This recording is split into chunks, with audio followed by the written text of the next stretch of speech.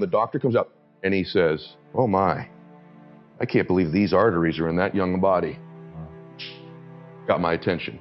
We walk back in, we sit down. He could still go, You need Crestor, eat clean, get out of here. Isn't that what an average doctor does, right? No. He goes, Let me ask you a question. Uh, I heard your wife's pregnant. I said, Yeah, I have a son. And he says, Do you want to be there when he graduates from high school? I said, Yes, sir. Yeah.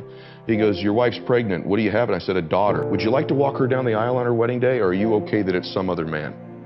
I went, What the f is on this scan, right? And he goes, I want to be very clear with you. If you keep going down the road you're going, there'll be some other man with your son at graduation high school, and a stranger's walking your daughter down the aisle that's not even born yet on her wedding day. But if you do exactly what I tell you to do, you'll be there. And so to this day, brother, there are mornings when I wake up, not every morning, I don't want to go to the gym. I go, Bella's wedding, Bella's wedding, Bella's wedding. So my standards are high because of my big old reasons.